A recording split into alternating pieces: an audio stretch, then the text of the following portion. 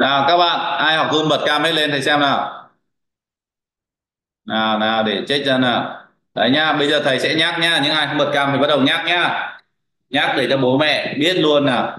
Anh Ngọc Ánh sẽ để cam uh, ngược đây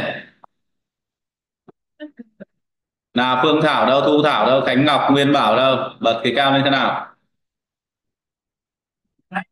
Đâu?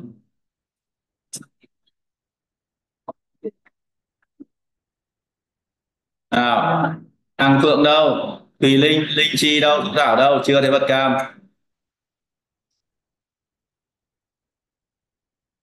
Được chưa? Minh Tâm đây rồi. Minh Tâm nhìn trong đăng cam nhìn khác đấy. Thanh Nguyệt đây ok. Thu Thảo hay hàng Phượng và Công Đạt, chưa thấy bật cam nhá.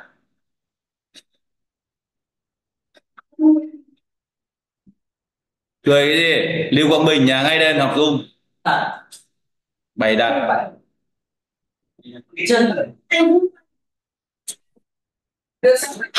rồi. Bắt đầu học nhá. Cam em bị lỗi ạ. À? lỗi rồi còn đòi học Zoom nào các em ghi. Ngày hôm nay chúng ta sẽ học nội dung uh, tương đối dễ thôi. Đó là tứ giác nhá. Ta sẽ học nội dung về tứ giác nào các em ghi tên bài ngày hôm nay là ngày 21 tháng 9 nè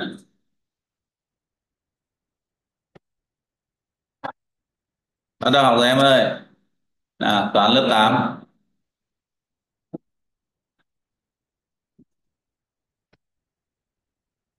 tứ giác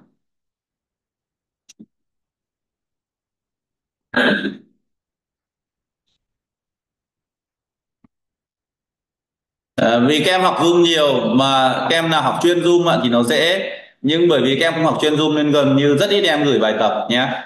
Em không quen. À, không quen với chụp bài tập. À, tứ giác là gì thì chúng ta sẽ đi vào một số yếu tố của tứ giác nhé. Là một một La Mã này là các yếu tố của một tứ giác.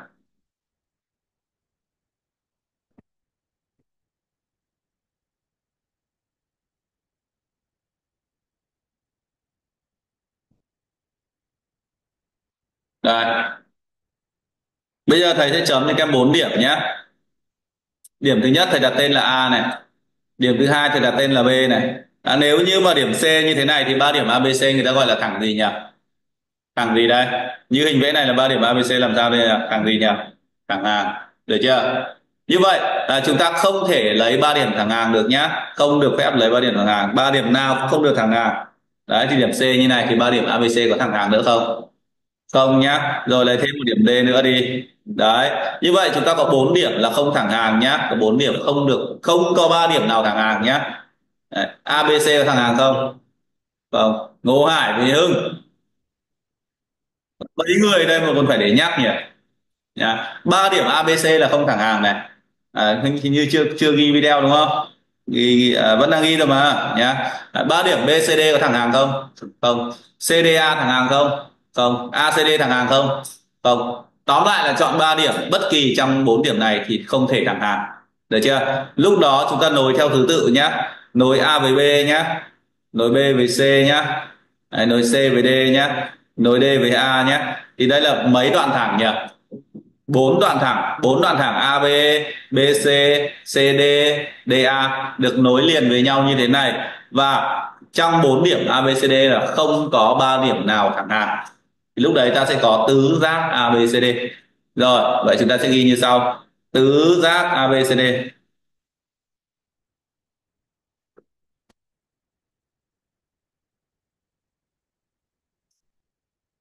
sẽ có.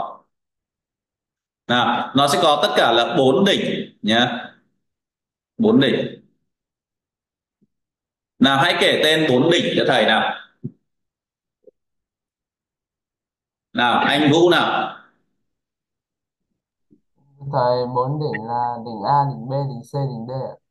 Đúng rồi sẽ là đỉnh A đỉnh B. Đỉnh C. Và đỉnh D nhá. Đấy cái này gọi là nhận dạng thôi đơn giản nhá. Nó cũng sẽ có bốn cạnh ai kể tên cho thầy bốn cạnh nào? Ngô Hải nào cạnh gì nào? Cạnh AD DC cạnh. Cạnh gì? CB cạnh. BA đúng rồi. Đây là bốn cạnh nhá. Chú ý em có thể đọc là cạnh BA có thể đọc là cạnh AB thì hai cách đọc đó nội dung là như nhau. Được chưa? Hãy học hình mà thế nào bạn ờ, nhỉ? Nguyễn Duy Hải không có thước thì kia đi học cái gì? Để cho đấy là bốn cạnh. Chúng ta có bốn góc nào? Nào, kể tên cho thầy bốn góc nào. Ai kể tên cho thầy bốn góc nào? Nào. Quyên và Việt, Linh và Chi học chung à? Toàn chưa học chung à? Xin mời Việt nào. Thưa thầy ờ, góc ờ, DAB góc D A. A B. Thì góc này chúng ta gọi nó là góc A nhé. Tiếp. Góc B ABC góc ABC thì góc này ta gọi nó là góc B nhé. Tiếp. Và góc ờ, BCD BCD thì góc này ta gọi nó là góc gì? C nhá cuối cùng. Góc CDA góc CDA thì ta gọi nó là góc gì nhỉ? Góc D. À, góc được chưa? Đấy là bốn góc. Tiếp tục nó có hai đường chéo nhé.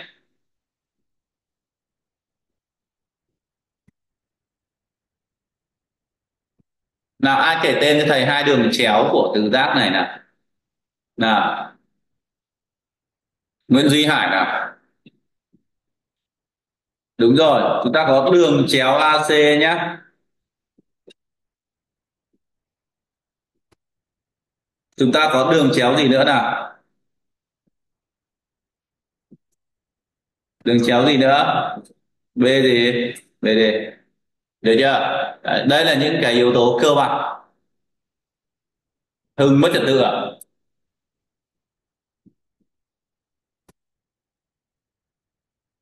à em xuống bớt bàn dưới cho thầy liền, xuống bớt bàn hai. Đọc lại sang bên cạnh. Và đi.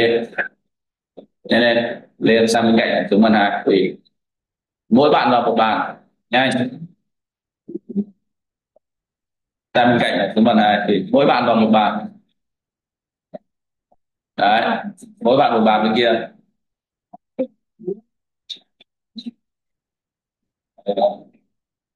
rồi nhanh chóng mở vở để học nào? Các bạn vào sau nhanh chóng ổn định. À vào sau nhanh chóng ổn định nào? Bây giờ thầy sẽ hỏi một số câu hỏi nó khó hơn một tí tẹo nhá. Nào. Cạnh. AB và cạnh. Ba chấm là hai cạnh đối?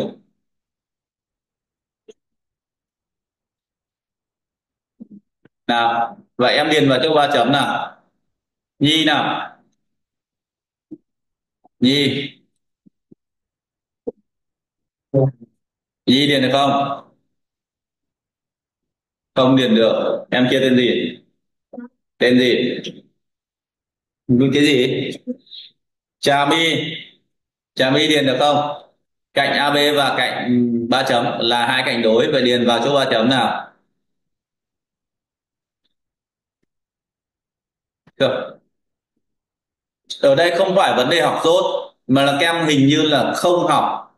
Có hai cách để không học. Một là không đi học. Hai là có đi, nhưng đến lớp gần như chỉ để chép và nộp tiền. Vừa phải chép bài, vừa phải nộp tiền mới đau đau đớn quá trời người ta học, người ta mới nộp tiền. Đường này mình có học đâu mà vẫn nộp tiền. Đau không? Quỳnh nào? Cạnh AB và cạnh nào là cạnh đối? Cạnh nào? Sai. Huệ nào? Đúng rồi. Cạnh AB và cạnh CD nhá. Sẽ là hai cạnh đối. Có người còn gọi là hai cạnh đối diện. Thì chúng ta chỉ cần gọi là hai cạnh đối thôi đây để thầy tô màu hai cạnh đối nhá. AB với DC là hai cạnh đối. Được chưa? Vậy tương tự nào? Cố lên. Tương tự nhá. Cạnh AD và cạnh ba chấm cũng là hai cạnh đối.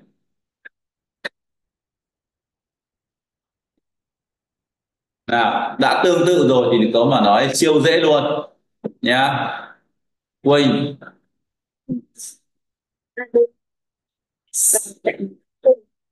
Đúng rồi và cạnh BC nhá. Dễ chưa? Đây sẽ là hai cạnh đối. Ok chưa? Rồi, bây giờ mình sẽ nói chuyện đến là góc đối nhá. Góc đối. Góc đối.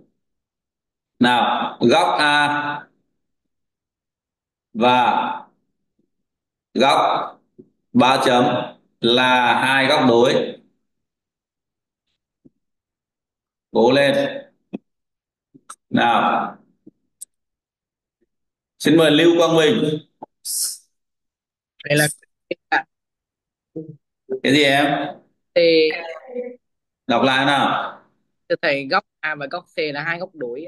Đúng rồi góc A và góc C nhá. Đây này, góc A này. Đây là góc C này. Là hai góc gì? Hai góc đối. Được chưa? Hai góc đối. Ở đây chúng ta học theo kiểu là nhận biết thôi. Tức là nhìn trên hình và nói đâu là góc đối, đâu là cạnh đối. Thế thôi. Thế còn nếu như mà để mà học bài bản ra thì người ta sẽ đưa ra là thế nào là hai góc đối? Thế nào là hai cạnh đối? Tức là chúng ta sẽ phải học chi tiết hơn, bài bản hơn thế đấy là cách, tức là cái yêu cầu khác. Thế còn trong chương trình chúng ta thì không có một cái yêu cầu nặng nề như vậy. Mà yêu cầu chỉ là gì? Là cho một cái hình vẽ như thế này. Em chỉ ra góc nào là góc đối với góc A. Thế thôi. Cạnh nào là cạnh đối với cạnh AB thế thôi. Đấy, tức là yêu cầu rất là nhẹ nhàng, nhá. Thế còn không bị nghĩa thế nào là góc đối, thế nào cạnh đối. Bởi vì làm thế thì nó nặng nề cho các em. Nào bắt chiếc như vậy. Góc B và góc gì là hai góc đối đấy điền được không? Lại bảo là không biết đi. Nhá. Cơ hội này mà còn không giơ tay thì cơ hội nào mới chịu giơ tay nữa? Định học rốt mãi à? À xin mời bạn à, Bảo Ngọc nào. Em thưa thầy, góc B và góc D là hai cạnh đối, à hai góc đối ạ đúng rồi đây là góc B này đây là góc D này. Thì đây là hai góc đối có người gọi là hai góc đối diện nhá đối diện. Thì mình chỉ cần nói là hai góc đối thôi nhá. Mình chỉ cần nói là hai góc đối thôi được chưa? Đấy các em chỉ cần nhận biết góc nào là góc đối thôi. Ok chưa? À, như vậy góc B và góc gì? Góc D. Được chưa? Là hai góc đối. Đấy thế thôi thế thôi chả cần phải nói thêm gì đâu. Đấy tất cả những vấn đề về một tứ giác như thế là xong nhá được chưa? Rồi bây giờ à, sẽ lấy một ví dụ khác đi. Tức là mình sẽ đặt tên khác đi nhá. Mình sẽ đặt tên khác đi này.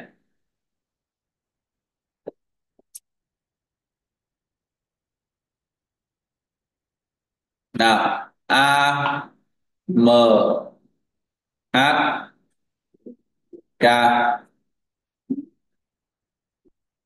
Được chưa? Đấy. Rồi, thầy hỏi và các em trả lời luôn. Không cần ghi nữa nhá.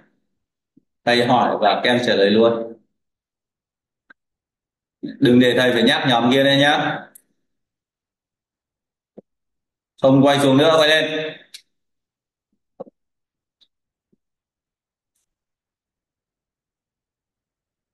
Được chưa? Hãy kể tên cho thầy bốn đỉnh nhá. Kể tên cho thầy bốn đỉnh nghe ra chưa? Liên. Đúng rồi đỉnh A đỉnh M đỉnh K đỉnh H không ghi nữa nhá. Mình nói chuyện với nhau được rồi. Đó. hãy kể tên cho thầy bốn cạnh. Hãy kể tên bốn cạnh của tứ giác này. Hãy kể tên bốn cạnh. Nào kể tên bốn cạnh Quỳnh. Ok có kể được không không? Ôi trời đi học này thất bại rồi. Bách cạnh AK cạnh KH cạnh HM cạnh MA chúc mừng Bách hãy kể tên cho thầy hai đường chéo.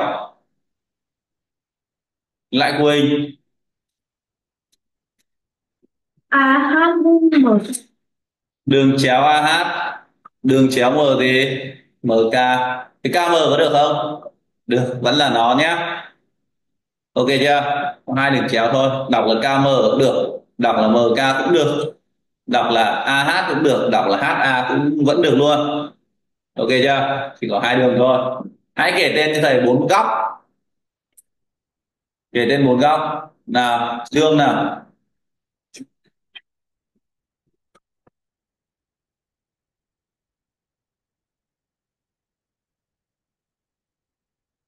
Góc.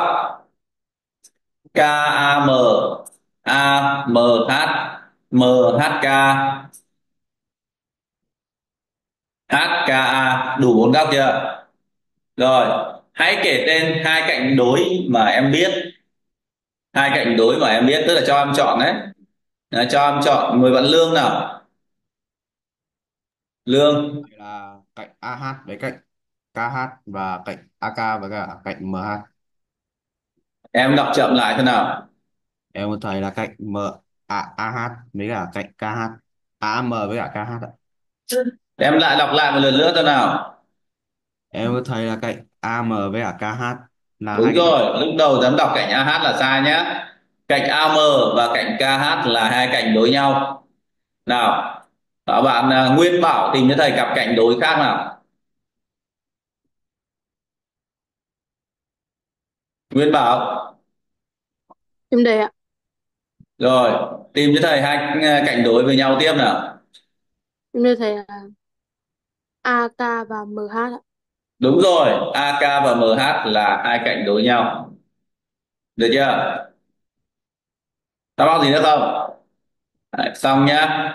Đấy, thế là chúng ta đã làm quen được các yếu tố của một tứ giác ok chưa? Thành công chưa rồi phần hai la mã bài hôm nay cực kỳ dễ ai học được mỗi quỳnh là đang chưa được. Thế làm gì đọc được tên các cạnh đâu. Thế nào là tứ giác lồi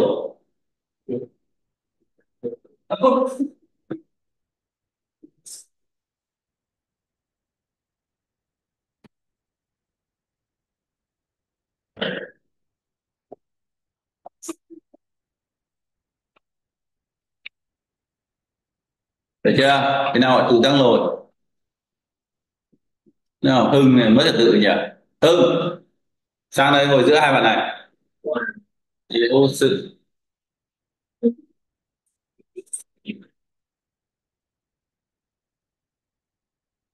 Ngồi như một cười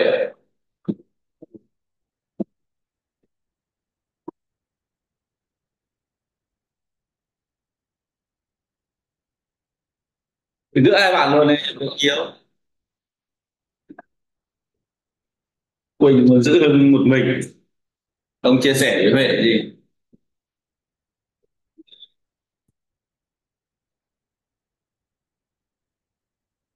Sẵn sàng chưa? Vậy như thế nào gọi là tứ giác lồi? Thì trước tiên thầy sẽ dạy các em về hai điểm cùng phía và hai điểm khác phía. Đây là đường thẳng D. Chưa được tập nào?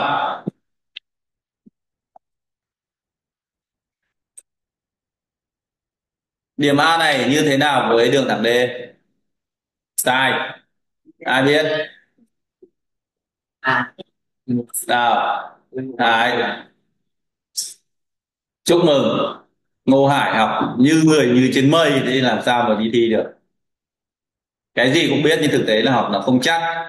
Hay là do phải học nhiều khóa à do chơi điện tử nhiều khóa đúng không? Còn gì nữa? Người này chỉ có tình trạng quá tải thôi. Nhá, tình trạng này là tình trạng là ăn ngủ thất thường. Đến bữa ăn như kiểu là cũng ăn cho nó xong. Ngủ không yên giấc nè. Như vậy, tình huống này chúng ta sẽ nói rằng là điểm A thuộc đường thẳng D. Hay còn gọi là nằm trên đường thẳng D. Được chưa? Nào hãy xem tình huống sau đây. Em sẽ nói gì về hai điểm B và C?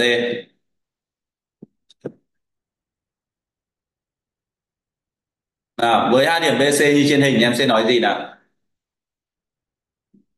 Em sẽ nói gì về hai điểm BC xin mời bạn à, Quyền Em thầy là điểm B với điểm C không thuộc D ạ đúng rồi nhưng mà không phải thứ mà thầy mong muốn. Xin mời bạn à, Việt. Thầy à, em cũng nghi như bạn ạ. như vậy đây không phải là câu trả lời mà thầy mong muốn. Tức là các em trả lời đúng rồi. Tức là B và C đều không thuộc D cái này thì đúng rồi. Nhưng không phải thứ thầy muốn. Vậy thầy muốn gì? Thầy nói ra đi. Nói ra thì nó lộ mất. À xin mời bạn Anh Vũ Quyền với Việt trả lời chịt rồi thì hạ tay xuống còn gì nữa. Thầy là anh Vũ. B nằm trên D và C nằm dưới D. sai. Không có khái niệm trên không có khái niệm dưới. Xin mời Nguyên Bảo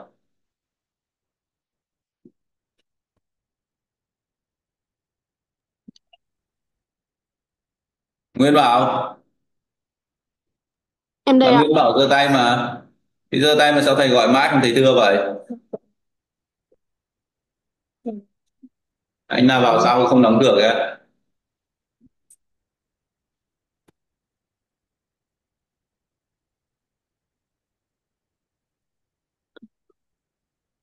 nào, Nguyễn Duy Hải. Không biết. Ai biết? Bách. Cái gì nhỉ? Không, thầy đang nói về hai điểm B và C. Hai điểm B và C như thế nào? Chưa có ai trả lời đúng cả. Mời Hải Biên Nguyễn Biên Em thưa thầy là B và C không thuộc D. ừ, cái này có người trả lời rồi. Tấn Phát thì Tấn Phát giơ tay mà. Em thấy B, B và C cắt D ạ. sao lại B và C cắt được? Đấy là đoạn thẳng BC thì mới cắt được chứ. Rồi thầy trả lời cho các em này là hai điểm B và C nằm cùng phía hay là khác phía so với đường thẳng D. Cùng phía hay là khác phía? Nào, cùng phía hay khác phía? Hãy tưởng tượng đường thẳng D như một con sông. Bây giờ thầy vẽ đường thẳng nó to ra nhé. Đây, đường thẳng nó to như này. Đây là một con sông. Được chưa? Vậy cho hỏi, nếu một người đứng ở B và một người đứng ở C thì người ta sẽ nói rằng hai người này nằm cùng phía hay là khác phía?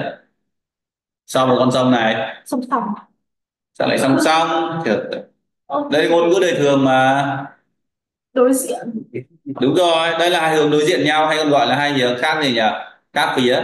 Thực ra cái đối diện thì nó hơi khác một tí nhá Quỳnh Quỳnh nhá. Cái đối diện nó phải thế này này. Nếu đây là C nhá thì thẳng sang đây nhá hạ vuông góc sang đây nhá thì mới là đối diện.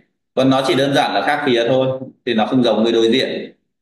Được chưa đấy, cũng giống như này nhá. Chẳng hạn như là Quỳnh này, với bạn à, Ngô Hải nhá, là hai người nằm khác, ngồi khác gì đây nhỉ? Khác dãy nhá khác dãy. Thì các em nghĩ là hai dãy này ngăn cách với nhau bởi cái lối đi ở giữa lớp ấy. Cái lối đi ở giữa lớp không? Cái lối đi giữa lớp là như đường thẳng D ấy. Như vậy là à, Quỳnh với Hải là hai bạn ngồi khác gì? Ấy? khác dãy. Chứ không thể nói là đối diện được ví dụ đối diện chẳng hạn như là Nhi với gì nhỉ? Nhi với Hưng đây nó mới gọi là đối diện nhau được. Đó thế còn như là Nhi với Liên thì không thể nói là đối diện được, nó chỉ là khác gì thôi, khác giấy nhá. Như vậy trong trường này chúng ta nói rằng hai điểm. B và C nằm khác phía.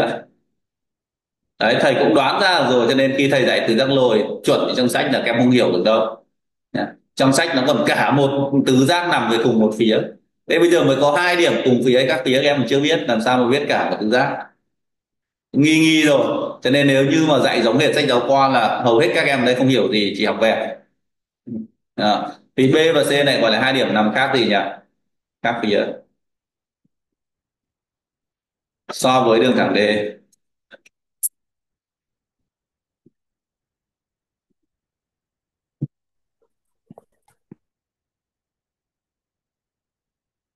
Rồi. Nào bây giờ thầy lại lấy hai điểm M và N. Đấy.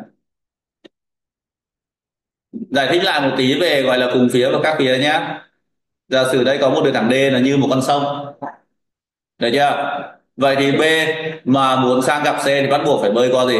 Bơi qua sông. Có thể bơi tay hay bơi thuyền hay là ờ, đi tàu gì đó kệ nhá được chưa? Nhất định là phải sang sông thì mới gặp nhau được. Ok chưa? Có thể là xây một cái cầu để bắc nối sang tóm lại là phải vượt qua sông thì mới có thể gặp được nhau. Thì khi đó hai điểm đó gọi là hai điểm khác gì nhỉ? Các phía. Thế còn bây giờ nhá thì M với N muốn gặp nhau có cần phải sang sông không? Không cần nhá. Đấy, M với N muốn gặp nhau không cần sang sông. Thì lúc này ta nói M và N là cùng phía hay khác phía nào? Cùng. Đúng rồi cùng phía nhá. Đấy các em hãy tưởng tượng rằng là muốn đi từ M đến N nhá. Đấy mình cứ thế là đi thôi không cần phải sang sông. Được chưa? Thì khi đó thì ta sẽ nói rằng M và N là hai điểm cùng gì? Cùng phía được không? bây giờ muốn đi từ M đến C có phải sang sông không? Có. Muốn đi từ N đến C có phải sang sông không? Có thể sang chỗ này. Cũng có thể sang chỗ này. Cũng có thể là đi chéo chéo như này. Được chưa? Nhưng đằng nào vẫn phải sang gì nhỉ? Vẫn phải sang sông. Kiểu gì vẫn phải sang sông. Đi thuyền đi bè hay là đi cầu cũng vẫn cứ phải qua sông đã.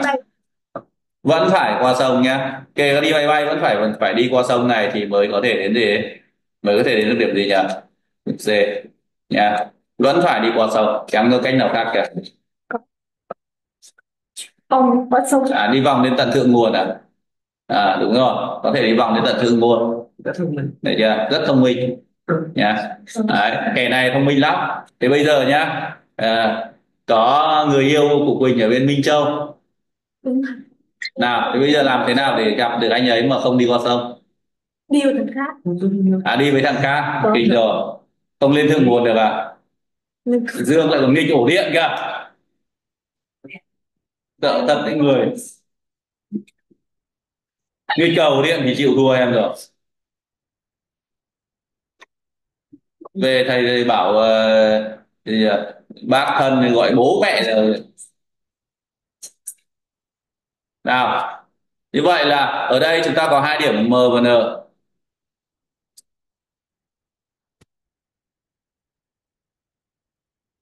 nằm cùng phía.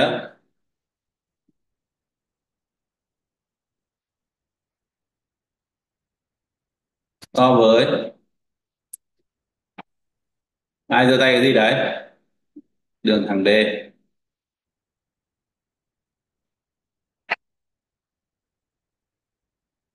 À, bạn nào giơ tay gì phát biểu đi. 22 người học Zoom. 11 người học ở như vậy vẫn còn khối người vắng 23 phải trừ thầy đi chứ. Nhá, 22 người học Zoom 11 người ở như vậy mới là ba mấy nhỉ? Ba ba. Ba ba người như vậy vắng đến 10 người chứ không phải ít đâu. Họ trả các điểm danh làm gì. À đây có mấy người học chung nữa nhỉ? À, xong chưa? Đấy là các em phân biệt được cùng phía với các phía nhé như vậy bây giờ chúng ta sẽ đưa vào thế nào là tứ giác lồi tứ giác lồi ấy. Thế nào là tứ giác lồi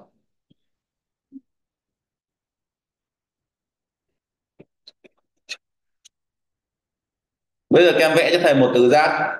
Hai tứ giác luôn nhé. À, các em vẽ cho thầy tập vẽ cho thầy hai tứ giác nhé. Vẽ thầy hai tứ giác trên à, cùng một hàng ngang luôn. Trật tự đi.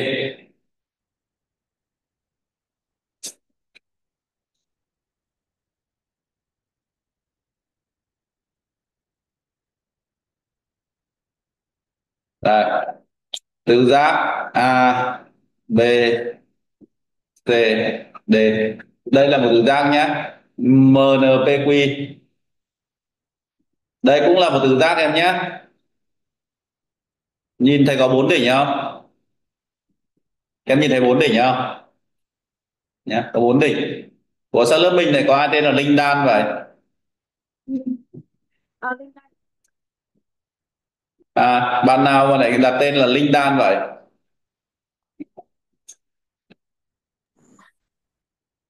Linh Đan phải trọng lên bồ không? Đúng rồi thầy. Rồi như vậy là tới ba sáu người rồi. Tương đối nhiều rồi đấy. Được chưa? Đấy, bốn cạnh của nó chính là m gì? Mn np pq q gì nhỉ? Qm Đấy, như vậy mnpq cũng là một tứ giác nhé. Nhưng trong hai tứ giác này chỉ có một tứ giác lồi thôi. Và một tứ giác kia là không phải tứ giác lồi. MNPQ cũng là tứ giác đấy em. Thì nó trở là tứ giác nó là cái gì? Ừ. vậy ai thể giải thích tứ giác nào là tứ giác lồi và tại sao không? Giải thích được đúng cho mình luôn nào lý Hải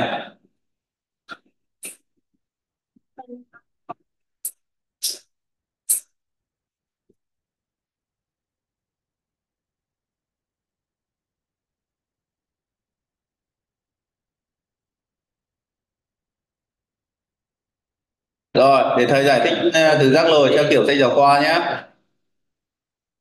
Nào. Quyền nào. Quyền. Nhưng thầy tứ giác lồi là tứ giác luôn nằm về một phía của đường thẳng chứa một cạnh bất kỳ của tứ giác đó. Đúng rồi. Nhà. Đây là lời dẫn trong sách giáo khoa. À, tiền ra là một thầy cửa này.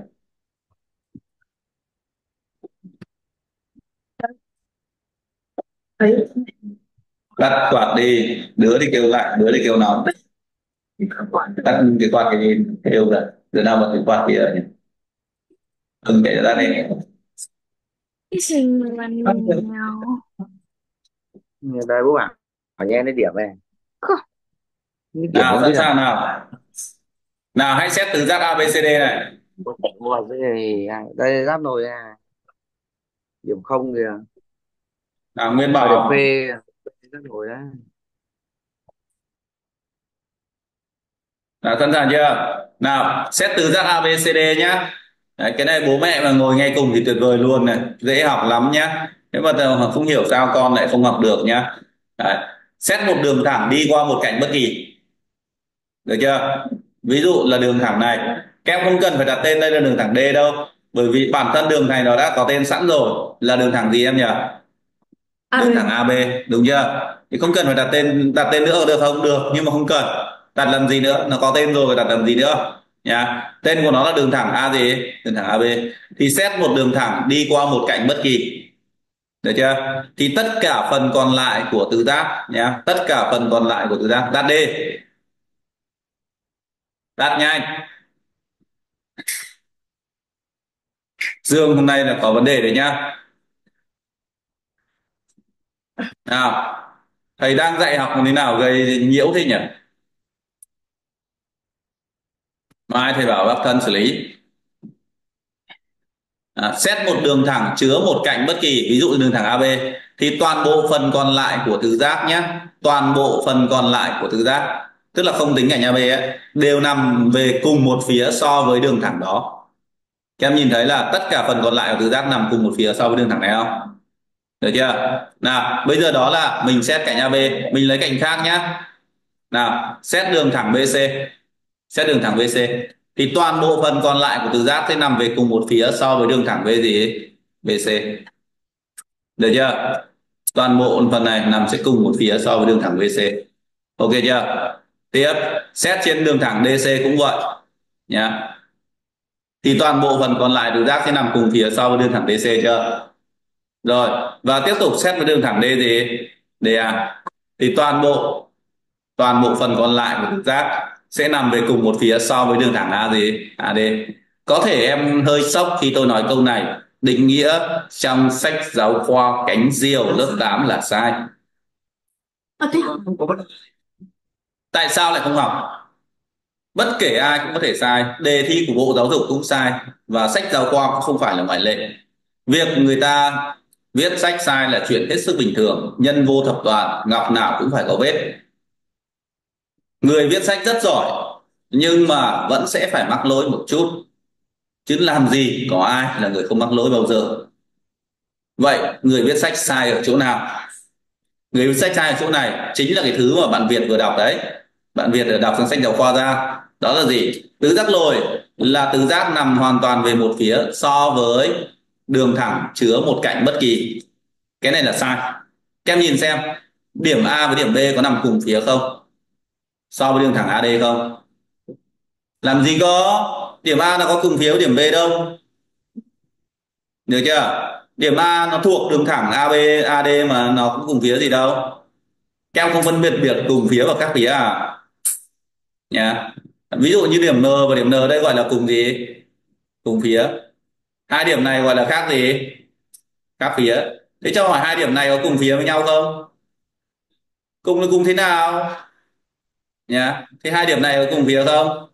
Không làm sao mà cùng được? Thế bây giờ mình đặt luôn ra một tình huống nhá. Cái đường thẳng của chúng ta là nó vẽ to ra như này đi. Được chưa? Có ba đứa hưng đứng ở đây quỳnh đứng ở đây đang ngồi trên thuyền giữa sông. Được chưa? Được chưa? Bốn đứa luôn đi huệ đứng ở đây. Hưng đứng ở đây. Được chưa? Việt đứng ở đây.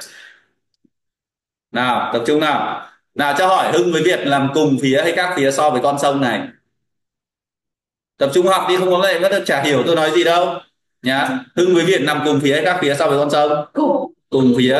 Thế còn việt với huệ nằm cùng phía hay các phía so với con sông? Khác phía. Nhá. Được chưa rồi, thế còn hưng với huệ nằm cùng phía các phía sau con sông. Khác phía, thế bây giờ là quỳnh với huệ nằm cùng phía các phía. Chẳng cùng cũng chẳng gì nhỉ? Chẳng khác. Bởi vì sao? Bởi vì bản thân quỳnh nó đang ở trong giữa lòng gì nhỉ? Giữa lòng sông này. Nhá. Thì nó không thể nói là nó cùng phía với ai trong nhóm người này được. Nó không cùng phía với ai hết. Hiểu chưa? Đấy. Giả sử như là quỳnh đây chính là một đoàn khách du lịch.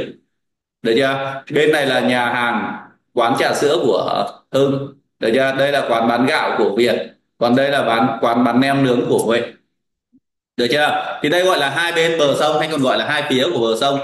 Vậy thì khi mà quỳnh đi đến đây thì các bên là trà sữa đi trà sữa anh đi anh này trà sữa anh ngon lắm.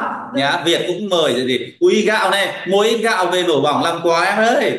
Nhá huệ là là, giao gì nhỉ? Huệ bán gì nhỉ à bán nem nướng trời ơi nem nướng đẳng cấp đặc sản nhá. Đấy trời mưa mà đi sông nước thế này mà có cái, cái nem nướng thì thôi ôi về là nhờ em luôn nhá. Được chưa? Đấy. như vậy là bạn Quỳnh đây. Bạn Quỳnh đã cùng hướng với bên nào trong các bên này chưa? Chưa nhá bạn Quỳnh nhá. Rồi bà phải không quan tâm bà đi thẳng nhá. Em đi xuống thung lũng. Được chưa? Như vậy có thể nói rằng bạn Quỳnh cùng hướng hay là bạn Quỳnh uh, cùng phía hay khác phía so với bất kỳ các bạn nào ở đây không không nhé đấy bạn Quỳnh chưa ngã về bên nào cả. Đấy. Đấy là cái điều rất là đặc biệt mà sách giáo khoa cánh diều chưa làm được nhá. Ờ, chưa phân biệt được ra là có cùng với khác đấy, các bạn có phân biệt được cùng phía và các phía đâu. Cho nên khi mà giảng từ giác lồi mà tôi không có cái thời gian giảng về cùng và các phía như này ạ thì ờ, không được. Đấy, sách giáo khoa cũng không hề đề cập thế nào là cùng và thế nào là khác nhé được chưa? Rồi, thì trong tình huống này chúng ta phải giải định nghĩa như sau nhé các em để ghi này. Nha từ giác lồi là một từ giác từ giác lồi là một từ giác từ giác lồi là một từ giác từ giác lồi là một từ giác mà lấy một đường thẳng chứa một cạnh bất kỳ. Lấy một đường thẳng chứa một cạnh bất kỳ. Lấy một đường thẳng chứa một cạnh bất kỳ. Lấy một đường thẳng, chứa một cạnh bất kỳ. Là trên hình này em liên tưởng đến đường thẳng AD đây nhỉ AD AD nhỉ? lấy một đường thẳng, chứa một cạnh bất kỳ. Thì kỳ là k y kỳ y dạng nhá. Lấy một đường thẳng, chứa một cạnh bất kỳ. Thì dạ tất cả các điểm còn lại của tứ giác. Tất cả các điểm còn lại của tứ giác tất cả các điểm còn lại của tứ giác. Tất cả các điểm còn lại của tứ giác. Phải nằm về cùng một phía. Phải nằm về cùng một phía. Nằm về cùng một phía. Cùng một phía đối với đường thẳng đó. Cùng một phía đối với đường thẳng đó. Được chưa?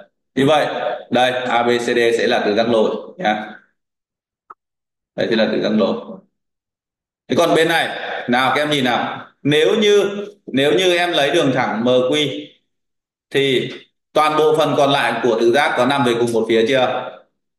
Rồi. Quỳnh đang không học bài nhá. Nếu em lấy đường thẳng MN thì toàn bộ phần còn lại của tứ giác có nằm cùng phía chưa? Cùng phía rồi. Nhưng mà có vẻ như không ổn ở cái đường tiếp theo. Ví dụ em lấy đường NP nào thì toàn bộ phần còn lại của tứ giác có nằm cùng phía không? Không nhá, em thấy M và Q hai điểm này đã khác gì rồi? Đã khác phía so với đường thẳng gì đấy? Đường thẳng N gì đấy? NP như vậy tứ giác này có phải tứ giác lồi không? Nhá, không phải tứ giác lồi. Nhá, đây, không phải tứ giác lồi. Là một tứ giác không lồi. Ok thì nó chỉ là tứ giác, nó là cái gì? Được chưa? Nó bốn cạnh nên nó trở tứ giác là cái gì? Ơ, cái bốn cạnh tứ giác. Ừm, trong đó không có ba điểm nào thẳng hàng. Thì là tứ giác thôi.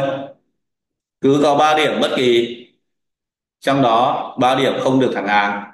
Thì được gọi là tam gì? Tam giác. Lấy bốn điểm bất kỳ trong đó không có ba điểm nào thẳng hàng. Nối với nhau theo một thứ tự thì sẽ tạo thành tứ gì? Tứ giác nó đơn giản thôi mà tứ là bốn, tam là gì? Tam là ba. Được chưa?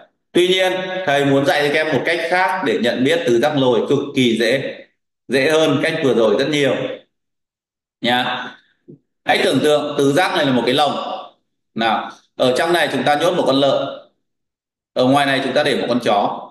Vậy cho hỏi, con lợn có nằm bên trong của tứ giác này hay không? Đó, con chó có nằm bên trong của tứ giác này hay không?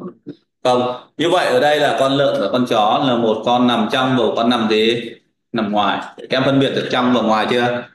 Tuy nhiên cách này các em phải phân biệt ra là có ba loại nhé một loại nằm trong và một loại nằm ngoài và một loại gì thuộc nha đấy, ví dụ, ở ở trên cái bờ tường này có một con muỗi. Con muỗi đậu trên cái bờ tường nhá, đậu trên bờ tường này chuồng lợn thì nó xây thấp thôi mà nó xây cao đâu. Vậy câu hỏi là con muỗi nằm trong chuồng lợn hay nằm ngoài chuồng lợn? Nó chẳng nằm trong nó chẳng nằm ngoài. Mà nó đậu trên bờ gì? Cửa tường. Kiểu như một người đang đứng ở, cửa ấy, một chân trong chân ngoài đấy. Thì người này đang ở trong phòng hay đang ở ngoài phòng? Đấy như các em đây đang ở trong phòng học nhé đồng ý không? Đấy ví dụ có chú bảo vệ đứng ở ngoài cửa kia thì chú bảo vệ đang ở trong phòng học hay ở ngoài phòng học nhỉ? Ở ngoài nhưng lại có một người là mở cửa ra bước một chân vào phòng nhưng một chân vẫn ở bên ngoài. Vậy hỏi người đó là ở trong phòng hay ở ngoài phòng? Thì gọi là chân trong chân ngoài chưa hẳn ở trong. Quỳnh ấy, chị không học bài chỉ nghĩ linh tinh. Quỳnh đi học thế này thì mẹ mới biết thì chán lắm đấy Quỳnh ạ nhá. Rồi vậy thì cái thứ này tưởng như là chém gió tào lao nhưng không đâu. Nó liên quan chặt chẽ đến tứ giác có lồi hay không nha cực kỳ đơn giản. Tứ giác lồi là như sau. Hãy tưởng tượng là gì? Là hai em bất kỳ, ví dụ như là Quỳnh và mi nhá. Hai em bất kỳ nằm bên trong của tứ giác, luôn luôn nhìn thấy nhau, nhá. Hay nói cách khác là nối với nhau bởi một đoạn thẳng, nằm hoàn toàn bên trong tứ giác. Đây là chuẩn định nghĩa nhé chuẩn định nghĩa của nó là gì? Một tứ giác được gọi là lồi. Nếu như hai điểm bất kỳ nằm trong tứ giác thì đoạn thẳng nối hai điểm đó cũng nằm trong tứ giác được chưa? Vậy các em nhìn xem hình bên này thì sao? Nếu như quy ở đây vậy các em tìm được vị trí nào của m mà khi nối vào thì đoạn thẳng mq sẽ không còn nằm trong tứ giác không Đấy, không có chữ m nữa mà đổi chữ e đi. Nào bây giờ nối q với n các em nhìn xem. Có một đoạn rơi ra ngoài chưa? Có thấy một đoạn rơi ra ngoài chưa? Thấy đoạn này rơi ra ngoài không? Nhận ra chưa? Hay nói khác nếu đây là các bức tường nhá thì q với e có nhìn thấy nhau không? Không. Không. Nhìn thấy nhau được bị khuất nhá. Hai bức tường là che che khuất mất. Không nhìn được thấy nhau. Ok chưa? Đấy thì tứ giác như thế này thì là không lồi nha vậy tứ giác lồi thì sao? Tức là hai điểm bất kỳ nằm bên trong tứ giác thì hai điểm đó luôn nhìn thẳng thấy nhau ok chưa? Đấy chẳng hạn như các em xây nhà nhé các em xây nhà nhé. Về sau định nghĩa hình lồi cũng thế. Định nghĩa hình lồi rất là đơn giản. Không được. Nhá. đấy chính là tư duy ngây thơ của rất nhiều người học. Không phải là dân toán. Tức là hiểu sai rất nhiều trong vấn đề là các em cứ hiểu ngược lại của lồi là gì? Sai nhé ngược lại của lồi đơn giản là không lồi thôi. Được chưa tôi trật tự đi. Các em hiểu rất là sai lầm khi cứ nghĩ rằng ngược lại của lồi phải là lõm. Sai. Được chưa? Ngược lại của lồi thì đơn giản là không lồi thôi. Bây giờ tôi nói như này. Bạn Hải nhiều tuổi hơn bạn Hưng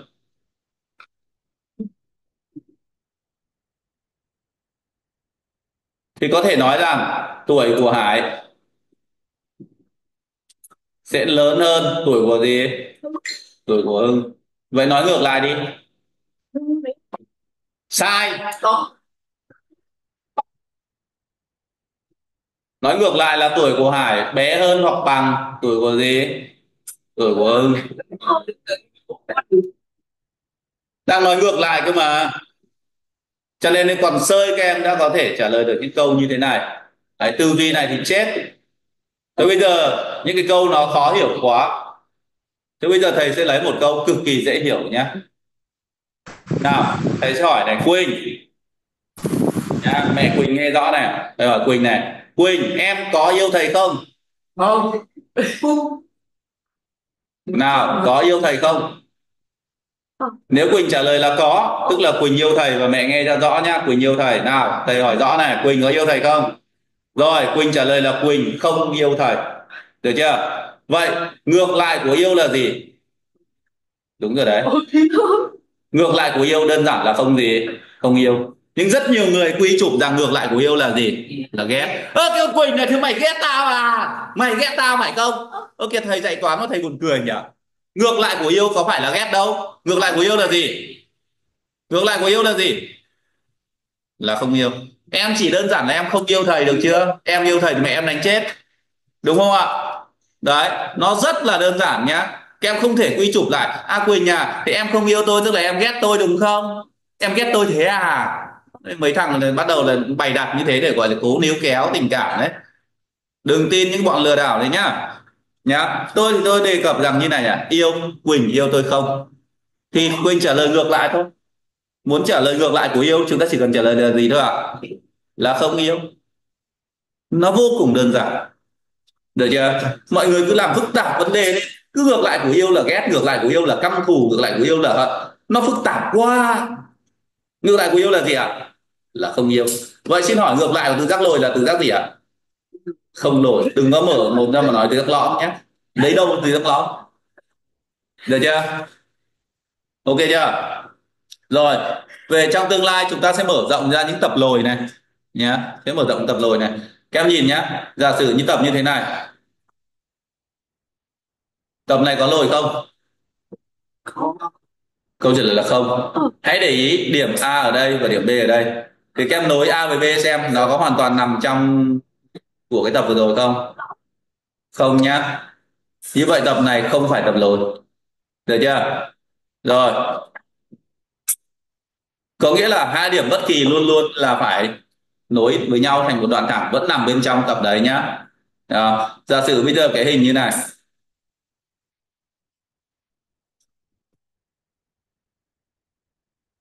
Đấy kiểu như này. Tập này có lồi được không? Không nhá ví dụ lấy điểm A ở đây, lấy điểm B ở đây, thì A và B có thể nối với nhau thành một đoạn thẳng nằm hoàn toàn bên trong không? Không. Đấy. Được chưa? Vậy thầy sẽ vẽ một tập khác nhé.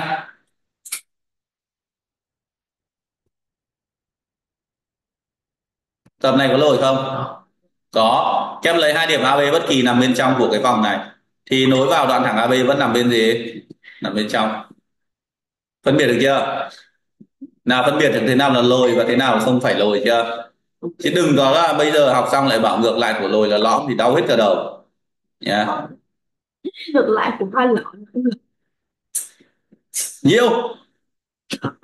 Được chưa? Có học được bài chưa đã? Phân biệt được đâu là từ giác lồi và đâu không phải từ giác lồi chưa? Xong. Em ghi chú ý. Chú ý quy định của sách giáo khoa.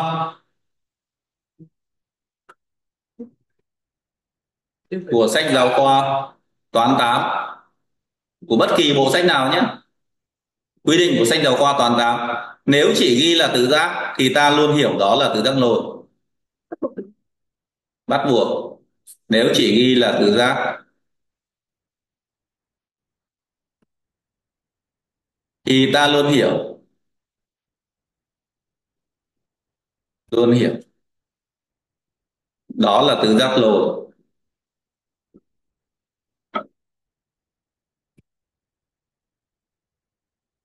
Yeah. nếu mà chỉ ghi là từ giác thì ta luôn luôn hiểu rằng đó là từ giác lồi điều đó nghĩa là gì? Nghĩa là trong chương trình học chúng ta sẽ không học những từ giác mà không lồi tất cả những thứ từ giác mà chúng ta học đều là từ giác lồi hết. Được chưa? Và chính bởi vì các em chỉ học từ giác lồi, cho nên lần đầu tiên nhìn thấy từ giác MNPQ không lồi là các em cảm thấy gì nhỉ? Cảm thấy nó lạ quá, đúng không? Đấy, cảm thấy nó lạ quá. Lần đầu tiên được nhìn thấy. Ok chưa? Xong nhá. Rồi, đấy là thế nào từ giác lồi? Đó. và phần ba la mã là tổng bốn góc trong một từ giác và nốt cái này nữa là hết.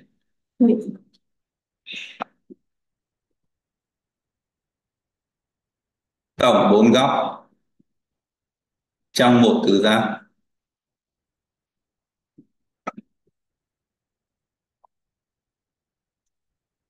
thì trước khi học tổng bốn góc trong một tứ giác thì đây, em vẽ cho thầy cái hình này. Hình này là hình gì đây em? Đúng rồi, đây là hình tam giác. Và trong hình tam giác này thì góc A cộng góc B cộng góc C bằng bao nhiêu? Các em nào biết không? Chúng ta đã biết điều này rồi. Bao nhiêu ạ? Ai biết nào? 180. đúng rồi. Tổng ba góc trong một tam giác chính là bằng 180 độ. Cái này chúng ta biết từ năm lớp 7 rồi. Quỳnh, Hưng, không nghiêm túc trong học bạn vơ vẩn ok chưa? Đấy vậy thì chúng ta sẽ ghi thêm một cái định lý nữa. Định lý là tổng bốn góc trong một tứ giác.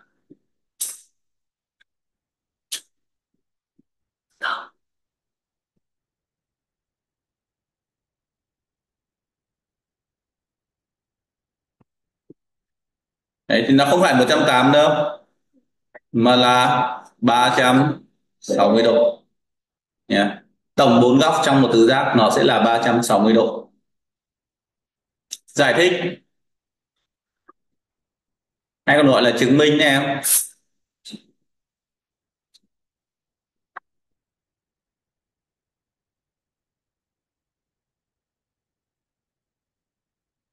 Đấy, tại sao A cộng B cộng C cộng D thì lại bằng 180 độ? 360 độ thì cách làm như sau. Ở lớp 7 chúng ta biết tổng ba góc trong một tam giác. Lên lớp 8 muốn học tổng bốn góc trong một tam giác thì chúng ta sẽ chia đôi cái tứ giác này ra. Chia đôi tứ giác này ra thành mấy tam giác nhỉ? Thành hai tam giác.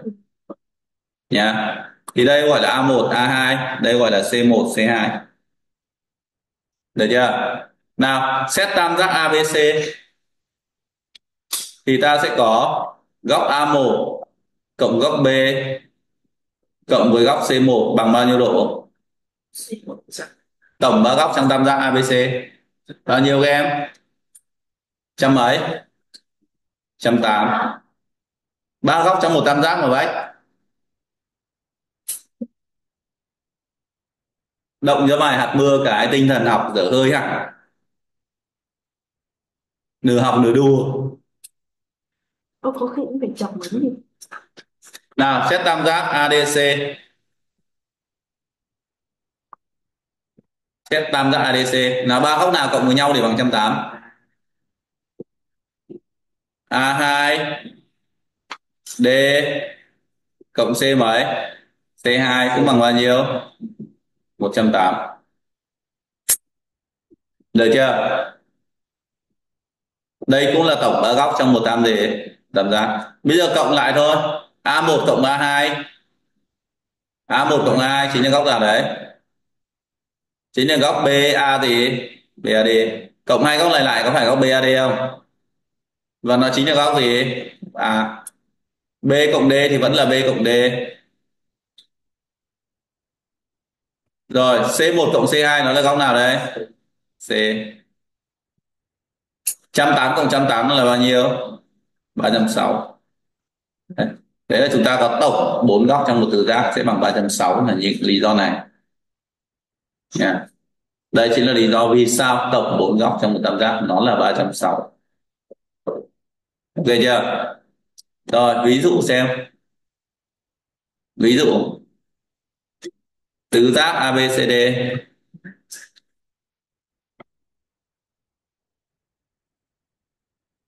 có A bằng 10 độ, B bằng 70 độ, C bằng 60 độ. Hãy tính góc D.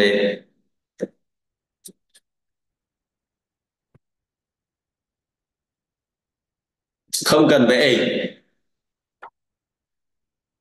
Không cần vẽ hình.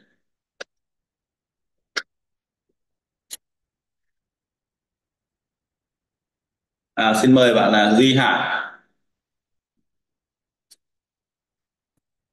Giải như thế nào và ra 1.9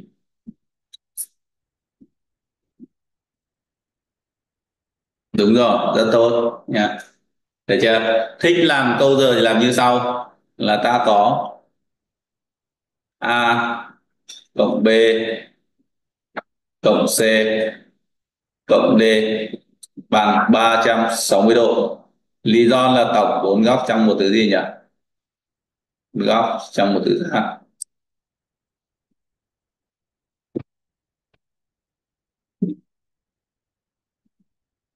Được chưa? Bây giờ ta thay số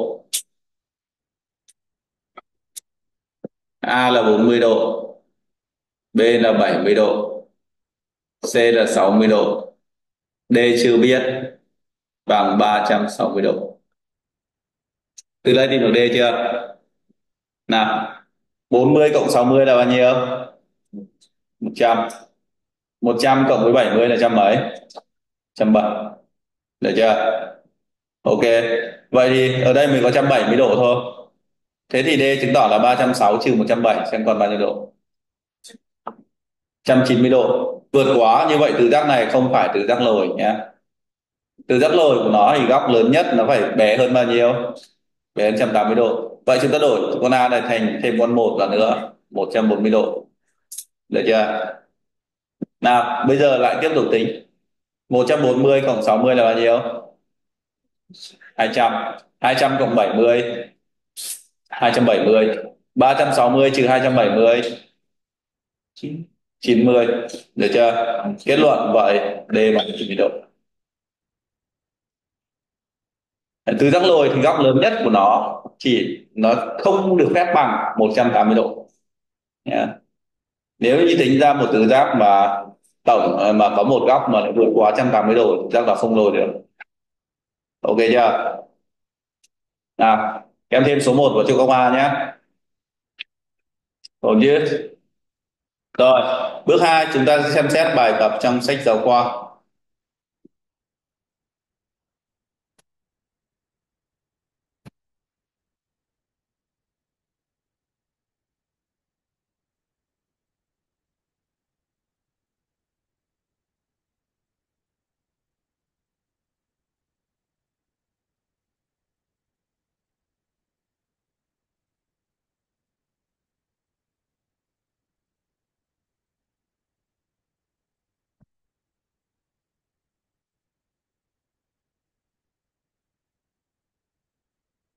Nó vẫn được tập 1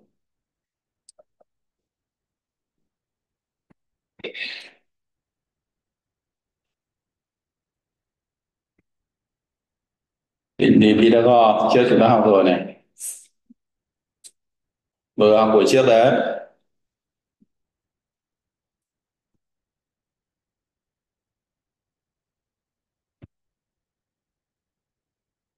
Đây từ giác nha đấy. Hình ảnh thừa ruộng này nó tô bốn cạnh đỏ đây chính là từ giác lồi nhá. Hình ảnh con diều đây nó cũng là từ giác lồi nhá. Đấy. Bốn đoạn màu xanh chính là bốn cạnh hai đoạn màu đỏ chính là hai đường gì Chưa. hai đường chéo.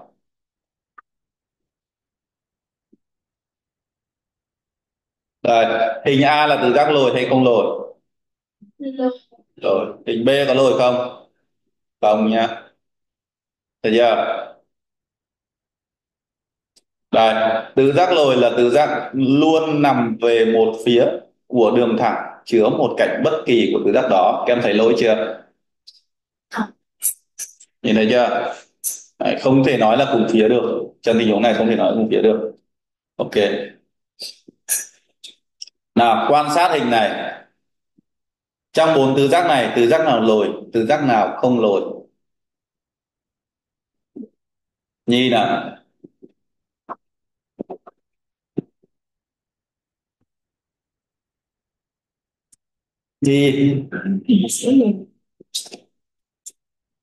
cái nhi. Nhi không trả lời được.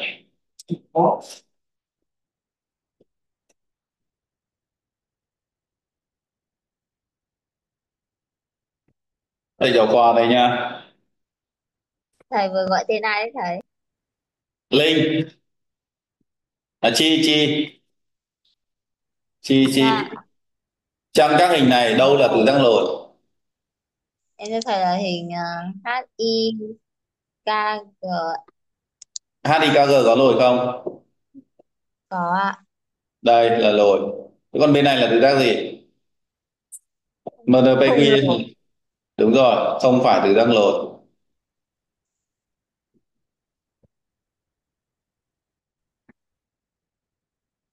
tương tự ABCD có phải không? Không phải giác Không lồi được chưa? Các em nhận dạng là tứ giác lồi chưa? Không cần vẽ vở hình đâu. Không cần vẽ vở đâu. Tổng các góc của một tứ giác tổng các góc của một tứ giác là 360 độ. Chuẩn bài chưa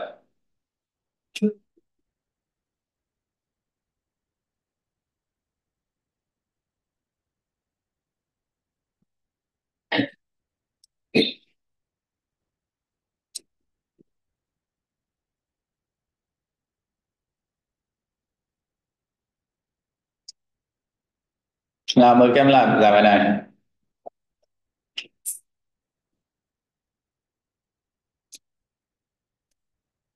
Em làm hộ cái. Về chỉ chép thì có tác dụng gì đâu. Đâu có hiểu cái gì đâu. Bình hôm nay đi học như đi đùa.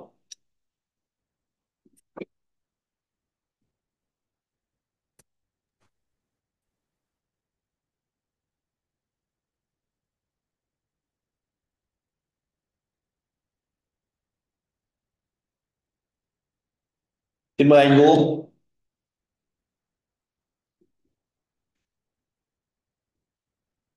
xin mời anh Vũ Rồi. à,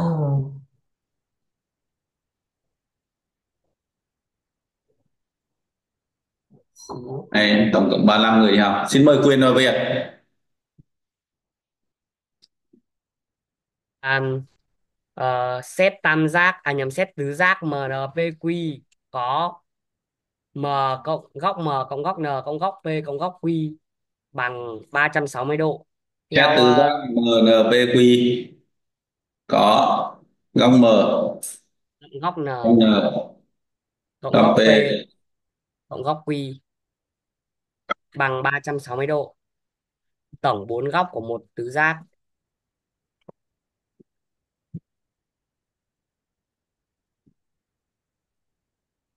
thay thay số vào là x cộng 2x cộng 3x cộng 4x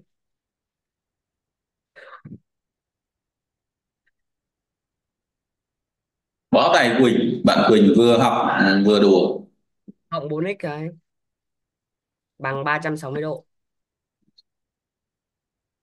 X cộng với cả 2 3 cộng 4 x cộng 9 bằng à, 360 độ à x nhân 9 bằng 360 độ.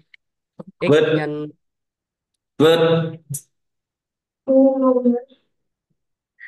ô, người nhân khác. 9 mà.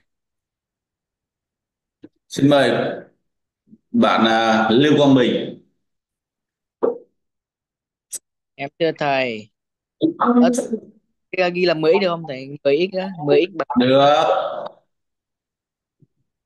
bằng 360 độ suy ra x bằng x bằng 36 độ. Đồng ý chưa? Hải thấy đúng không?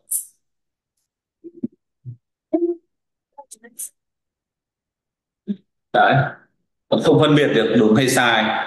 Được nào ai đồng ý bạn này đúng giơ tay? Mỗi hưng đồng ý rồi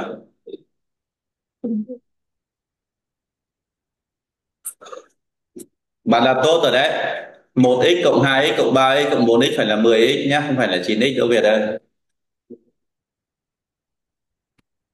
Rất nhiều bạn học on đã giơ tay rồi. Các bạn Ngọc Xuân Bách Nguyễn Biên. Cả bạn Hương Phượng nữa. Cả Nguyên Bảo, anh Vũ nữa. Rất nhiều bạn trả lời đúng. Như vậy x bằng 36 độ. Vậy số đo các góc của tứ giác là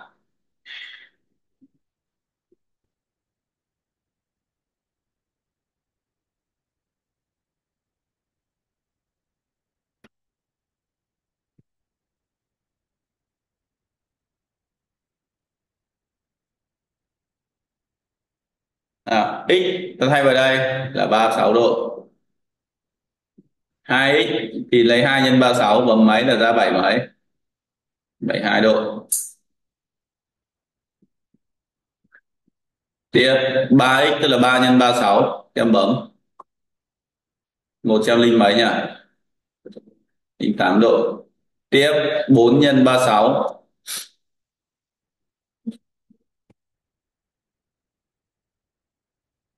Đấy. Đủ 4 độ.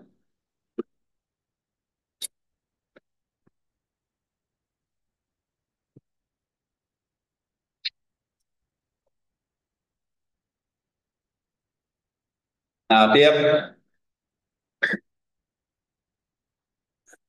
Kem không vẽ hình để làm gì nhá, kem nhìn. Loại toán này là toán nhận biết, nghĩa là kem nhìn và trả lời, không vẽ vào hình, không vẽ vào vở nhá. Loại toán nhận biết. Học thật nghiêm túc đi. Kem viết câu trả lời ra, vở hoặc ra giấy nháp. Viết câu trả lời của em ra vở hoặc ra giấy nháp cho thầy.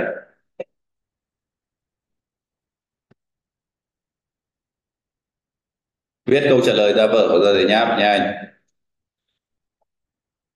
tứ giác nào không phải là tứ giác lồi và vì sao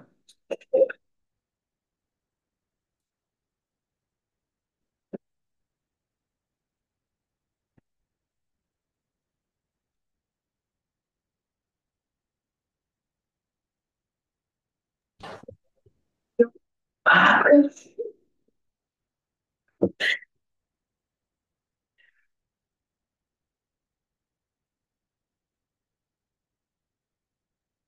Oil.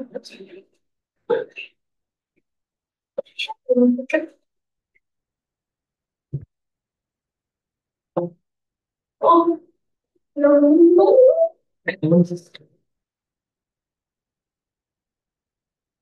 Yeah.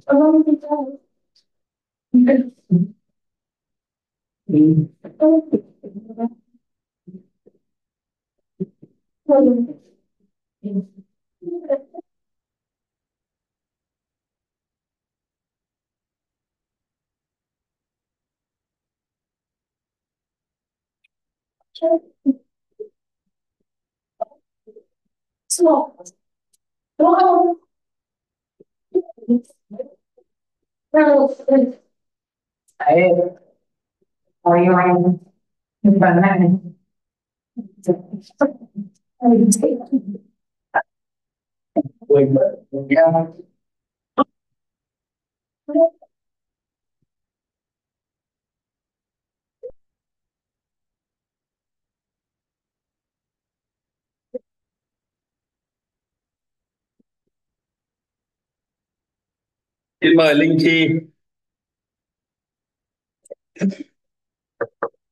Linh chi. Hình nào không phải? Em thưa thầy là hình C. Hình C không phải. Lý do? Vì nó không phải là một đường thẳng. Ừ. thế em cũng giải thích được. Chị Linh lớp 10 rồi mà giải thích chán thế. Để chi giải thích cho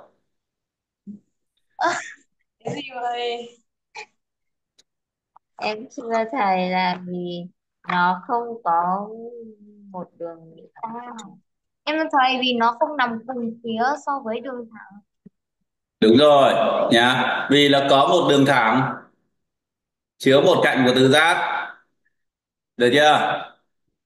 Mà mà phần còn lại của tứ giác không nằm cùng phía so với đường thẳng đó đấy nhìn thấy nằm hai phía khác nhau chưa? Hai phía khác nhau chưa? Như vậy đáp án là hình gì? Hình C. Ổn chưa? Loại hình này chúng ta không vẽ hình làm gì vẽ hình xong thì để hết ngày à Đấy, chúng ta nhìn và chúng ta trả lời thế thôi. Nha vẽ xong cái hình này để hết ngày. Bài 2 Đấy, bài 2 thì phải chép đề rồi. Những cái bài ngắn ngắn đề ngắn này là phải chép rồi quá ngắn nhưng không phải là ngắn. Còn muốn thế nào nữa không muốn làm là muốn ăn à ngắn như thế này rồi cũng bảo không ngắn. Thầy đã rất là tâm lý rồi. Những cái bài đề dài quá chúng ta nhìn và trả lời thôi. Đấy.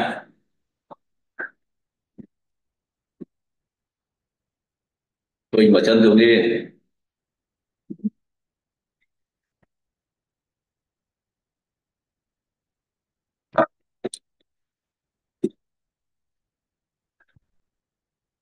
nào xin mời anh Vũ. Ừ, ừ, thầy là phần A ờ, B cộng D bằng 180 độ. Bao nhiêu độ? Bằng 180 độ. Giải thích.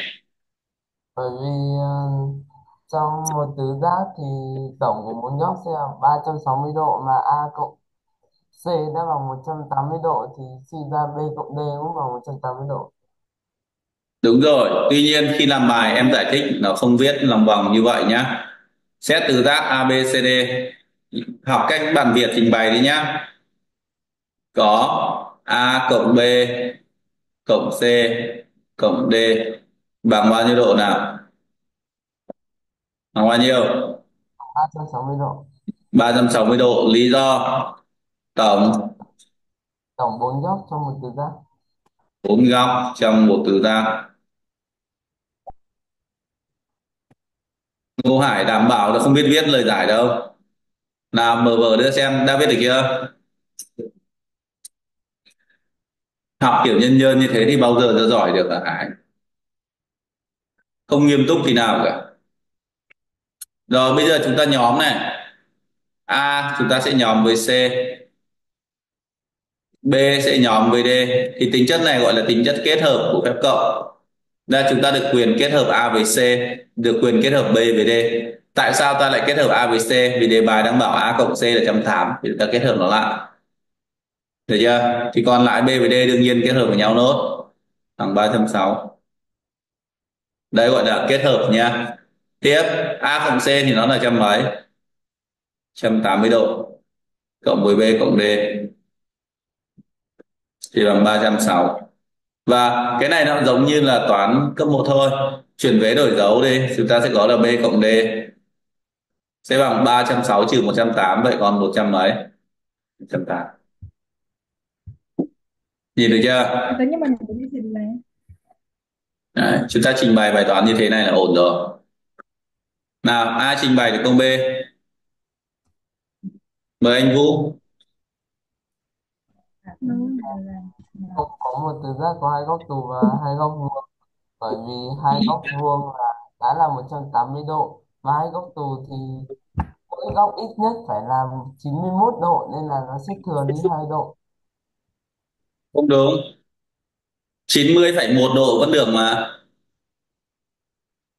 Bạn hiểu bài rồi. Có điều là ừ, vẫn là cái bài bệnh quen thuộc đó là mình trình bày. Nhà, thực ra Vũ học rất là nhiệt tình học tương đối khá khá chắc đấy chưa phải là học sinh giỏi xuất sắc đâu nhưng là học sinh khá chắc. Nhưng mà cái điểm yếu của Vũ đó là gì? Là trình bày. Và có thể chính vì cái lỗi này cho nên trong năm học, điểm trên lớp của Vũ sẽ không cao được. Nha. Hưng cũng như thế thôi. Hưng thậm chí nhận thức còn thua cả Vũ cơ. Nhất là đợt thời gian này là Hưng lại học kém đi. Lý do? Lý do gì mà đợt này học kém đi nhỉ, Hưng? Nào ai trình bày được nào? Nó lớn hơn góc tù nó chỉ là góc lớn hơn 90 độ và bé hơn bao nhiêu? Bé hơn 180 độ thôi. Chứ cũng thể nói là bé nhất là 91 độ được. Thì 90,1 độ 90,2 độ 90,5 độ thì nó vẫn được gọi là là góc tù. Cứ gì cũng phải 91 độ trở lên mới là tù. Đã, hiểu như thế là không được. À, đúng rồi. Cái chính là góc tù nó chỉ đơn giản là lớn hơn bao nhiêu? 90 độ. Được chưa? À thì chúng ta có thể để tiện trình bày, chúng ta có thể xét từ giác A, B, C, D. Được chưa? Giả sử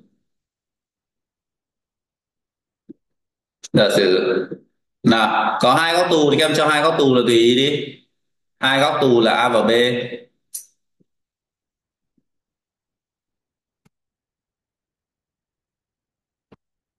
vậy có nghĩa là A phải lớn hơn bao nhiêu? 90 độ. B cũng phải lớn hơn bao nhiêu? 90 độ. Được chưa? Tu thì chỉ đơn giản là lớn hơn 90 và bé hơn 180 thôi. Thì ở đây các em không học góc nào quá 180 cả, nên không cần phải ghi nhiều. Chỉ cần ghi là A lớn hơn 90 là được rồi. Được chưa? Vậy, suy ra hai góc còn lại.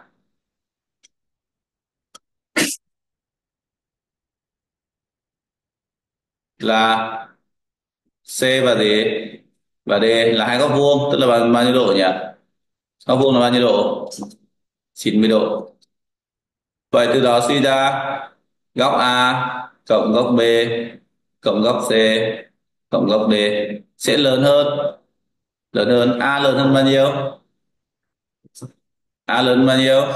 90 B lớn hơn bao nhiêu? 90 C bằng bao nhiêu? 90 D bằng bao nhiêu? 90 và cái này bằng bao nhiêu nhỉ? 360 độ. Cái này vô lý chưa? Vô lý. Đúng rồi như vậy thì điều này là sai. Kết luận không thể có tứ giác nào mà lại có hai góc tù và hai góc vuông. Được chưa? Không thể có tứ giác nào mà lại có được cả hai góc tù và hai góc vuông. Không có tứ giác nào như thế cả nào bắt chước như vậy làm câu C. Hưng nào. Thầy nhìn góc nhọn là góc lớn hơn không độ và bé hơn 90 độ. Đúng rồi. Nên là khi cộng vào thì giả sử xét từ giác. Xét từ giác. Đấy Hưng hiểu bài rồi đấy. Có điều trình bày hơi non một tí thôi. Vậy ta suy ra không độ nhỏ hơn A, B, C, D. Nhỏ hơn bao nhiêu độ? 90 độ. Thực ra còn phải nếu như thích viết dài nhé phải ghi là giả sử có tứ giác thỏa mãn yêu cầu của đề bài, khi đó ta có. Đấy. được chưa? Đấy, thích viết dài, viết như thế nhá. Rồi, tiếp tục là Hưng.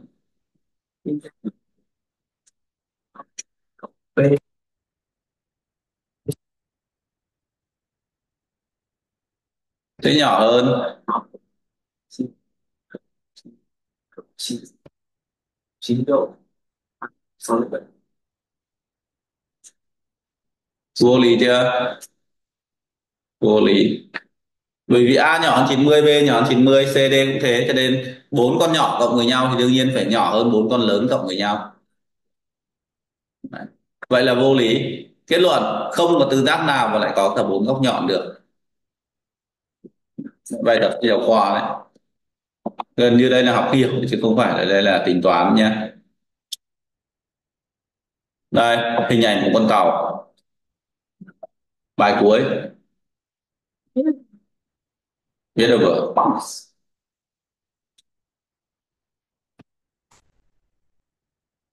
viết và vẽ cố lên.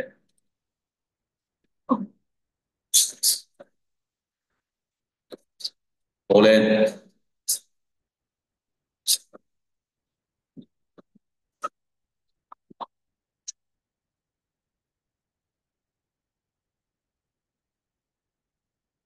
Tức là tính chu vi của cái hình này.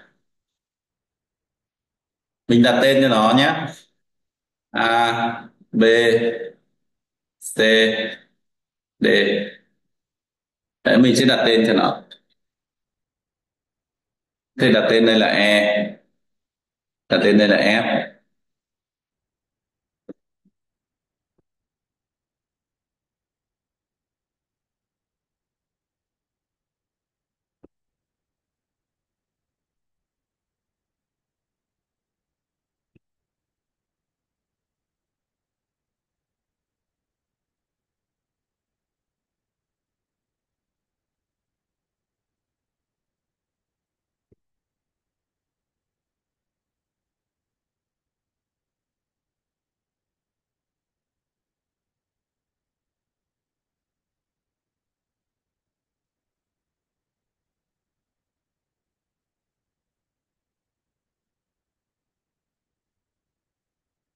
nào, yêu cầu người ta tính là tính chu vi của cái tứ giác ABCD nghĩa là chúng ta sẽ đi tính AB BC CD và D gì? DA chúng ta tính tất cả các đoạn này. Hiểu ý chưa? Đấy.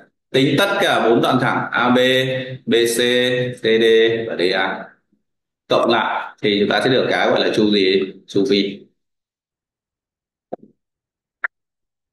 Ai trả quyền vào việc nào ai làm được thầy sẽ thưởng cho 10 nghìn. Mai đi học thành lấy gì chuyển chuyển. Tín là quyền hay là việt đấy hai người học chung. Mới nghĩ ra một nửa thôi thầy thằng quen nó bấm nhầm ấy. Ừ, yeah. bấm nhầm. Nào trước tiên chúng ta dùng định lý Pythagore để tính đoạn AB nhé nào. Xét tam giác. Tam giác nào nhỉ? Tam giác nào để tính đoạn AB đúng rồi. Hải tiếp nào. ABF vuông tại vuông tại F. Theo định lý Pythagore. Theo định lý Pythagore. Pythagore thầy viết tiếng Việt này. Ta có AB bình phương sẽ bằng AF bình phương cộng FB bình phương. Thay số bằng 5,6 bình phương cộng 8,4 bình phương. Bấm máy. 5,6 bình cộng 8,4 bình. Hả? 14 vậy thì suy ra AB bằng căn 10 mấy? Căn 14 có vẻ sai sai. Tính này thì sai mất rồi. Yeah. AB căn 14 thì nghe vô lý quá. Hải tính sai chắc rồi. 5,6 bình phương. Cộng 8,4 bình phương.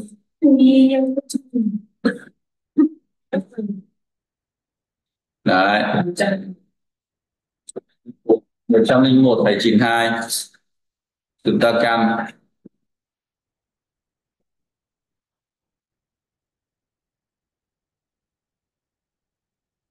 Đây, như vậy bằng 14 căn 13 chia 5.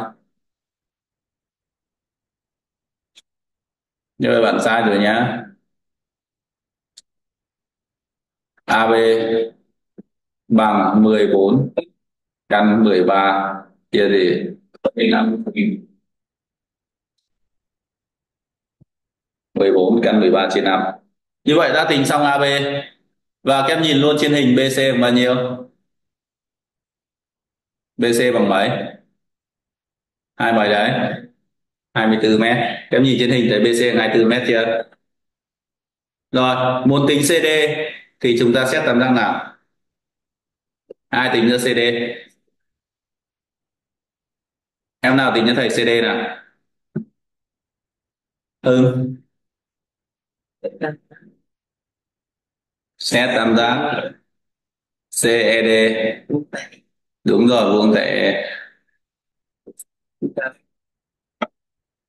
theo Pythagore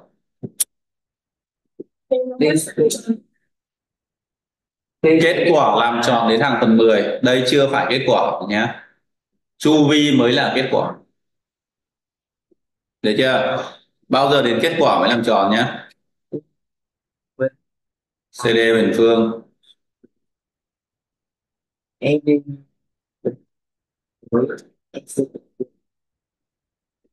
Thay số bấm máy.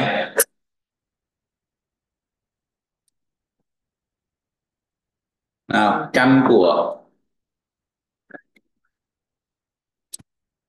10,8 với 16,2 căn của 10,8 bình phương cộng 16,2 bình phương bằng 27 căn 13 trên 5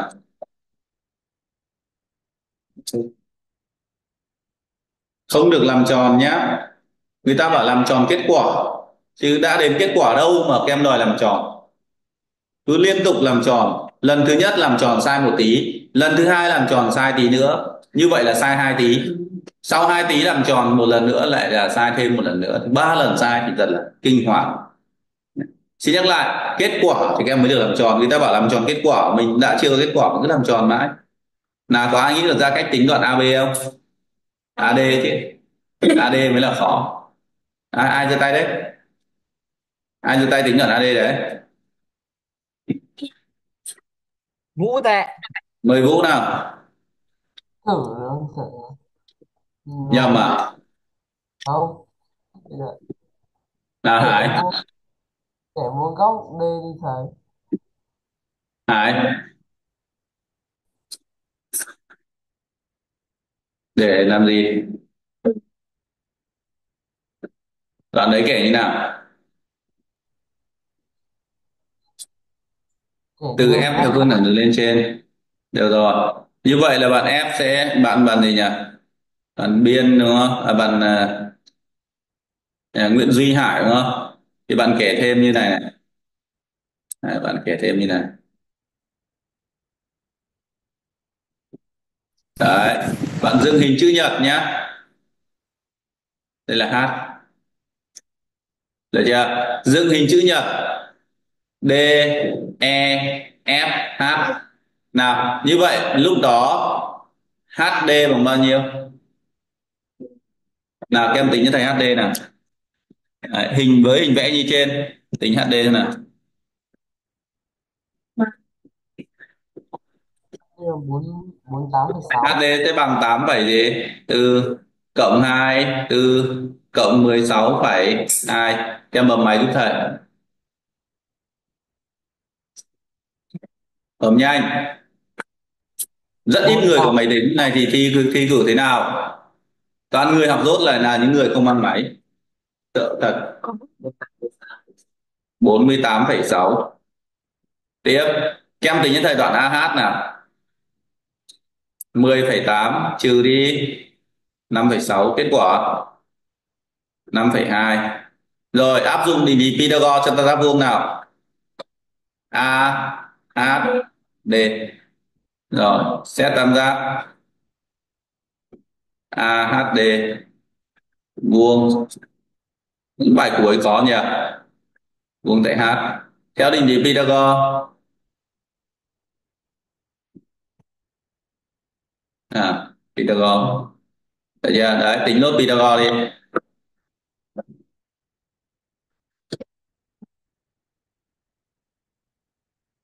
Nào, tính luôn nhé. AD sẽ bằng căn của bao nhiêu?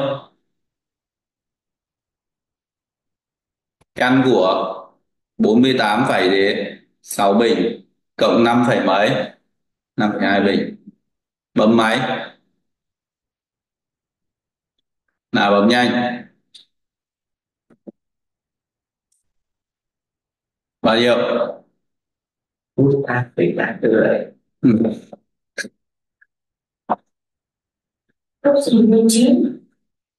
Căn 48,6 48. bình cộng 5,2 bình Đấy. không đổi được đúng không thế nên chúng ta sẽ phải tính từ từ nhá 48,6 số to quá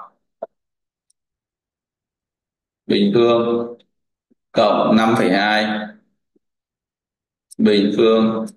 Đây, bằng 2389 như vậy bằng căn của 2389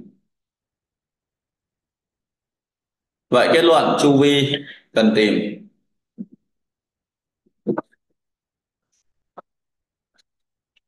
Nhá chu vi thì tính bằng cách nào? Tổng mấy cạnh? Bốn cạnh. Bốn cạnh. Từ giác là bốn cạnh mà. AB AB bao nhiêu? AB bao nhiêu đây? 14 căn 13 trên trên 5 cộng BC BC là hai mấy đây? 24 cộng CD CD em vừa tính ra CD đâu?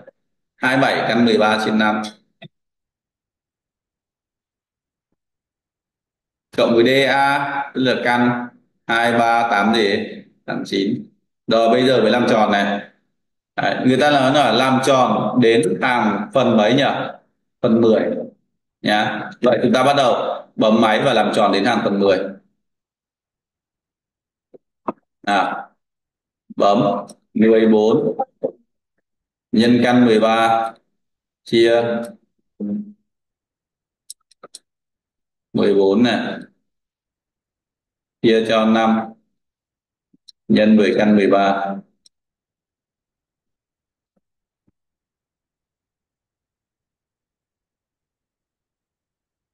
tiếp ờ, em tính thế thì bao giờ sẽ làm tròn được? Cộng 24 cộng với phân số 27 căn 13 đấy em nào mà giỏi đi học hình mà lại không mang máy tính đi biết thế nào là khổ? Cộng với căn 2389 bằng đại đa số đây. 102,4429 102,4429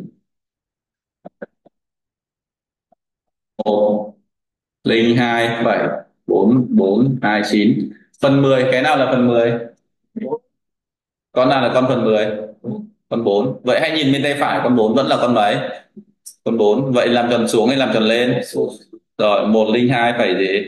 Phải 4 được chưa? Như vậy chu vi của nó là một sấp xỉ 102,4 mét đủ khó chưa? Rồi xong nhá. Ở kem nghỉ.